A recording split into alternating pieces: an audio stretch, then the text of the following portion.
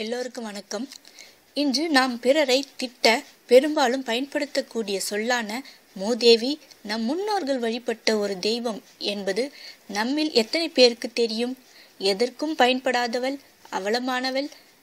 அவஷ்ட குணம் உள்ளிட்டோரை குறிக்கக்கூடிய சொல்லாக இன்று நாம் அந்த சொல்லை பயன்படுத்தி வருகிறோம். ஆனால் ஒரு காலத்தில் ஸ்ரீதேவிக்கே மூதேவிதான் செல்வத்துக்கான தெய்வமாக வணங்கப்பட்டவள். ஸ்ரீதேவிக்கு மூத்த தேவி எனும் சொல்லே பிற்காலத்தில் மருவி மூதேவி என்று அழைக்கப்படுகிறது. மூத்த தேவி என்பவள் சில இந்து தர்ம நூல்களில் குறிப்பிடப்படும் துஷ்ட குணம் படைத்த தேவதை ஆவாள்.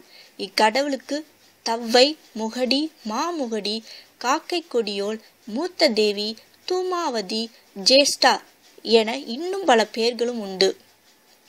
தமிழர்களின் பண்டைய காலத்து வழிபாடானது இயற்கையிலிருந்து தொடங்குகிறது. மரம் மாறி சூரியன் என வழிபடத் துவங்கிய மனிதன் பின் போரில் வீரமரணம் அடைந்தவர்கள் நினைவாக நடுக்கல் நட்டு வழிபட்டான்.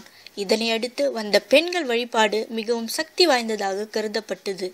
மாறி தெய்வமாக மழையையும் தாய் தெய்வமாக கொற்றவையும் வழிபடுவது தமிழர் மரபு. துர்தஷ்டத்தின் அடையாளமாக கருதப்படும் தவ்வையை தொன்று தொட்ட தமிழர்கள் செல்வத்துக்காகவும் பசுமை வளத்துக்காகவும் வழிபட்டுள்ளனர்.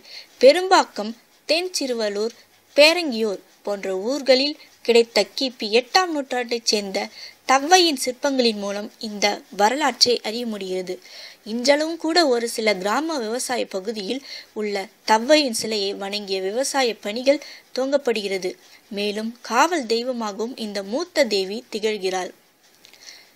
சோழர் காலம் வரை தமிழகத்தில் மூத்த தேவியின் வழிபாடு பெருமளவில் சிறந்து விளங்கியிருக்கிறது என்பதற்கு பல தொல்லிய சான்றுகள் கிடைத்துள்ளன. பல்லவர் காலத்தில் கட்டமைக்கப்பட்ட காஞ்சி கைலாசநாதர் கோவிலில் இந்த பெண் தெய்வத்திற்கென ஒரு சன்னதி உள்ளது என்பது குறிப்பிடத்தக்கது. மேலும் திருப்பரங்குன்றத்தில் பாண்டியன் பராந்தக நெடுஞ்சடையனின் படைத்தளபதி மனைவியான நக்கன் கொச்சியார் ஆணைப்படி தவ்வைக்கு ஒரு குடை குடைவரை கோயில் எடுக்கப்பட்டுள்ளது. காஞ்சிபுரம் கைலாசநாதர் கோவிலில் தவ்வை என்ற மூத்த தேவிக்கென தனி சன்னதி இருக்கிறது. திருவானைக்காவல் வழுவூர் போன்ற இடங்களில் தவ்வை சிற்பங்கள் வணங்கப்படுகின்றன. மேலும் காஷ்மீரில் தூம்ரா காளி என்ற பெயரில் தவ்வைக்கு கோவில் உள்ளது. தமிழர்களின் மரபு வழி வழிபாட்டிற்கு சிறப்பளிக்கிறது. இந்தியா முழுவதும் தவ்வைக்கு சிறு சிறு சிலைகள் கோவில்கள் இருந்தாலும் தமிழ்நாட்டில்தான் அதிக அளவில் சிலைகளும் கோவில்களும் உள்ளன. இவற்றில் பெரும்பாலும் விவசாய நிலங்களில் தொல்லியல் துறையின் எவ்வித கவனிப்புமின்றி கிடப்பது குறிப்பிடத்தக்கது. நன்றி நண்பர்களே இது போன்ற தகவல்களை நீங்கள் மேலும் அறிந்து கொள்ள எங்கள் சேனலுடன் கீழே உள்ள சப்ஸ்கிரைப் பட்டனை கிளிக் செய்து இணைந்திடுங்கள். மற்றும் எங்கள் சேனலை உங்கள் நண்பர்களுக்கு ஷேர் செய்திடுங்கள். மேலும் உங்கள் கருத்துக்களை ஃபீட்பேக்கில் பகிருங்கள். நன்றி.